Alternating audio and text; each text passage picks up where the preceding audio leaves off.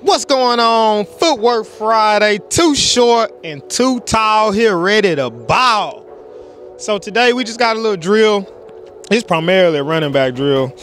So here we're gonna press the hole, aka the dummy, the bag, drop our hips, bam, jump cut, and drive. Okay.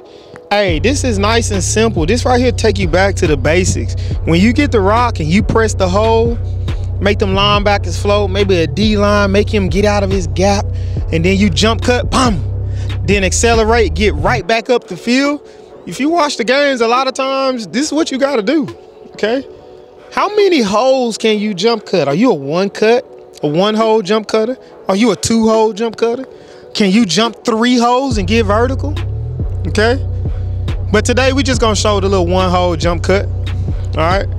Press the bag, jump cut, get your feet in the, in the ground, push up the field, and go go. Show us what you got. Too tall, ready to ball.